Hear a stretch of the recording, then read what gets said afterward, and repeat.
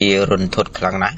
បរិមម្នាក់តូចចិត្តរឿងគ្រួសារសម្រាប់បញ្ចប់ជីវិតដោយលោតពីលើផ្ទះជាន់ទី3សម្រាប់ខ្លួនគ្រាន់តែរងរបួសធ្ងន់រាជធានីភ្នំពេញ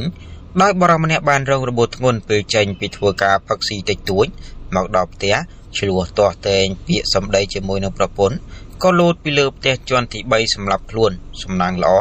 ទៅលើសំយ៉ាផ្ទះរួចធ្លាក់មកក្រោមបង្កការភ្ញាក់ផ្អើលកាលពីវេលាម៉ោង8:30នាទីយប់ថ្ងៃទី27ខែកុម្ភៈឆ្នាំ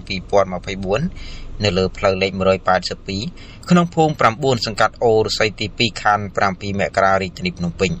ជនរងគ្រោះមានឈ្មោះក្លុកសំអនភេទប្រុសអាយុ40ឆ្នាំមុខរបរជាកម្មករដែលរស់នៅក្នុងភូមិ9សង្កាត់អូរស័យទី2ខណ្ឌ7មករា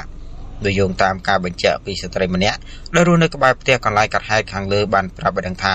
ដោយរូគាត់តែតែឃើញប្តីប្រពន្ធពីរនាក់នោះតែងតែឆ្លោះប្រកែកគ្នាសឹងតែរាល់ថ្ងៃលុះមកដល់ម៉ោងកាត់ហែកប្រមាណជាង8:30នាទីក៏ឃើញបរោះរងគ្រោះត្រូវជាប្តី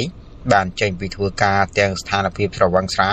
រួចក៏ឡើងទៅលើផ្ទះពេលចូលទៅដល់ក្នុងបន្ទប់ស្រាប់តែលើសំឡេងឆ្លោះប្រកែកគ្នាជាមួយនឹងប្រពន្ធខ្លាំងៗ មួយសន្ទុះក្រោយមកស្រាប់តែលោតពីលើផ្ទះជាន់ទី3សម្រាប់ខ្លួនសំណាងល្អធ្លាក់ទៅជាប់លើសំយ៉ាផ្ទះរួចបន្តធ្លាក់មកដល់ខាងក្រោម